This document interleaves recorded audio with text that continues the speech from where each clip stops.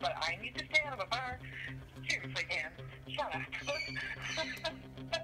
Why do I have to be the one to stay out of the bar?